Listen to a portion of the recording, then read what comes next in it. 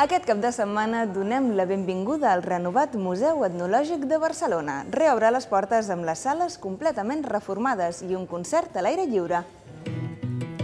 La reobertura d'aquest diumenge inclou un concert en folklore d'arreu i tallers on viure de ben a prop l'antropologia. El nou Museu Etnològic, gratuït fins al 4 de desembre, vol ser un espai de participació en què els visitants puguin comprendre la societat actual a través de la comparació amb altres indrets i amb altres temps.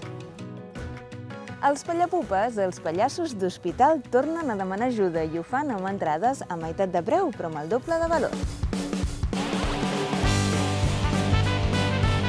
Tant dissabte com diumenge podeu gaudir d'un dia al Tibidabo, al Zoo, al Camp Nou Experience, a la Fundació Miró i a molts llocs més amb les entrades solidàries d'un dia de nassos. D'altra banda, el Festival de Circ Circorts dona el tret de sortida a la Festa Major de les Corts, amb 10 dies d'actuacions gratuïtes en espais públics. I parlem ara d'esport, perquè aquest cap de setmana podeu participar en dues competicions molt especials.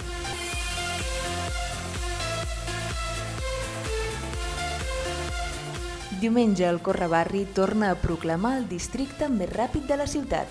Són 10 quilòmetres en què es fa equip amb els veïns i la classificació individual queda en segon terme.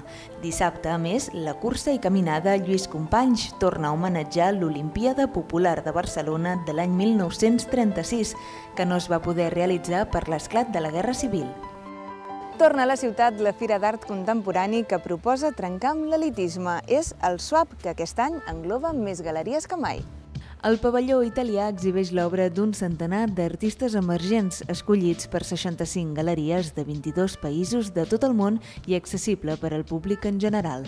També aquest cap de setmana el primer Barcelona Gallery Weekend posa de relleu el potencial creatiu de la ciutat amb un programa artístic que ocupa galeries, museus i intervencions en l'espai urbà. Les propostes no acaben mai a Barcelona. Trieu la vostra i gaudiu del cap de setmana.